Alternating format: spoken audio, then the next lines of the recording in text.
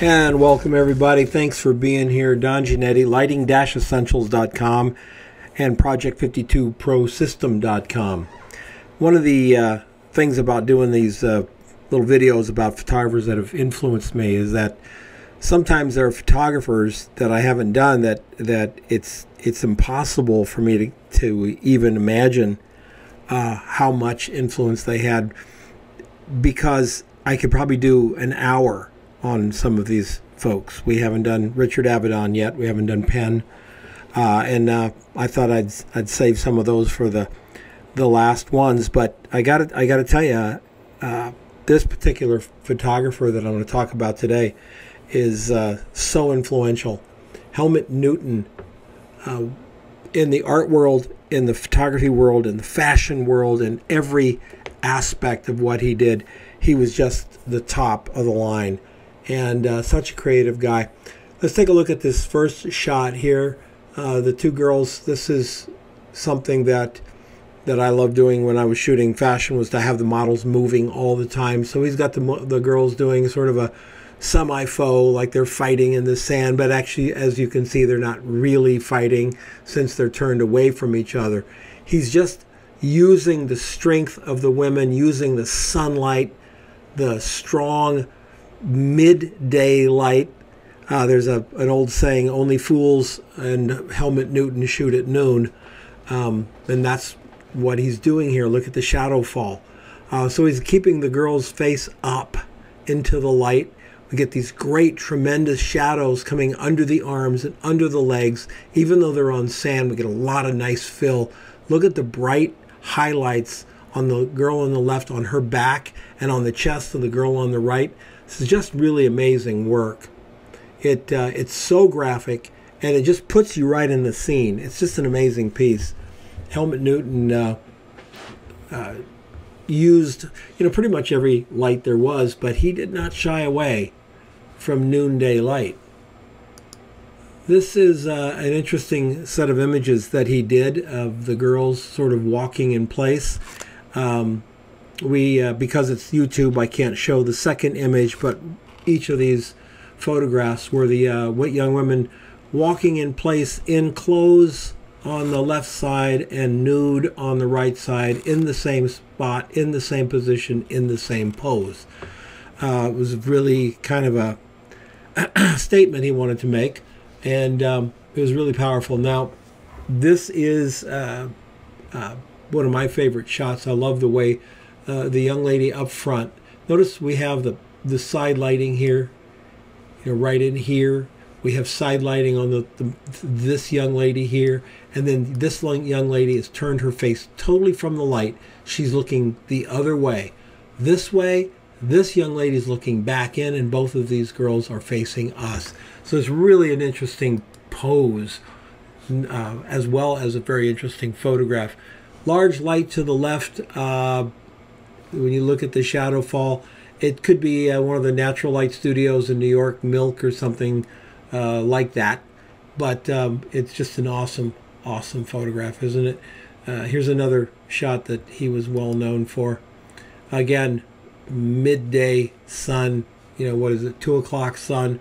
Uh, got a either a very bright fill card up here under her hat or a flash could have been either one. He used everything.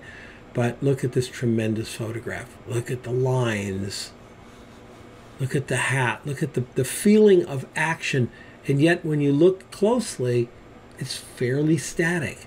It just feels like there's a lot of action in the picture. Heavy contrast, lots of grain, very much a black and white photograph. And um, I think it's very power, powerful the way he works with this a lot of black. Here's another uh, two young ladies, very mundane set. Uh, sometimes his sets were not rich villas and cool places, but just sort of, you know, somebody's backyard pool or a, a parking lot somewhere. Uh, he liked the uh, changing up the context and creating more of a story. Look, these uh, young ladies are handcuffed together. Looks like this this girl is chasing this girl down. Lots of action. She's reaching right out of the frame here. You know, look at the look at the way everything's falling to the right, including the camera. A little bit of camera fall to the right here. Really cool shot. This is an iconic shot by Helmut Newton, and uh, I think one of my favorites.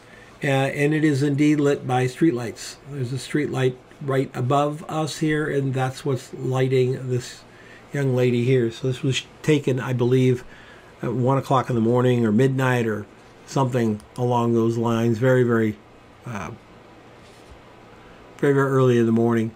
Uh, it was just a great shot. Just a great shot. The uh, the tux, the pose, everything works so well, and then dropping that background out and having the lights in the picture really, really cool.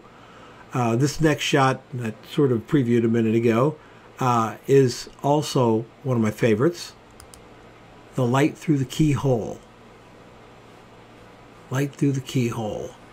Um, a lot of, of uh, Helmut Newton's work was natural light and simple light, say bouncing lights off ceilings, umbrella maybe, uh, that type of thing not soft boxes, usually more umbrellas or, or movie lights, or big heavy studio lights.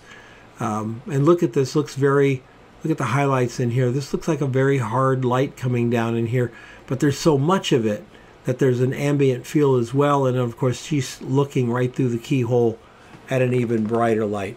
Don't be afraid to shoot without flash. Don't be afraid to shoot with very powerful continuous light it uh, it can be a really cool look. It can be a really fun experience. Don't be afraid of it, of that continuous light uh, look. It's exciting as hell, especially when you can pour on more than one or two lights, maybe four or five lights, and it can be just terrific. This is a great shot. Look at the crop. What a, that's what I call a brave crop, right? I mean, she's he's cropped out the eyes, the eyebrows, for goodness sake just pulled all the attention down here on her hand and her thumb and everything. And here, that's is out of focus. The jewelry is in focus. She's got the cigarette hanging out of her mouth. It looks like a snapshot. It looks like something that was just caught. And that's, I think, one of the things that Helmut Newton um, always delivered was that sort of feeling of in the moment, spur the moment. Like we just caught this moment of this model or this young lady sitting here and we're privy to an instant in time rather than a fancy pose. And he did his share of fancy poses, but this is the kind of stuff that really, really, I, I, I just absolutely love. This is one of my favorite shots. I, uh, I tried to do this shot and did a, did a okay job with it. We used 35 millimeter movie film and created a couple stripes across a model's face. Uh, for a client, that was a long time ago. This is a long time ago, and I think it's just as fresh as it could be. It's just really, really cool. Working with cookies, working with shapes in front of the light, just very similar to this one. You know, the light coming through the keyhole here really, really fascinating. Um, and, and possibly the way this one works as well. You know, outside with the with just the the uh, overhead lights, fast film and a model that can hold some real still. Can't beat it. look at this. That's great. Again, look at the background. It's nothing spectacular. We got a tree with a stake on it. So, you know, a little tree needs some help here. We got some pools of light that are fun. Uh, and then we have this fur coat uh, on a chaise lounge, something that would be more, uh, you know, backyard barbecue thing. But we've got the, the lounge and the fur coat and the the subject laying here looking very glamorous.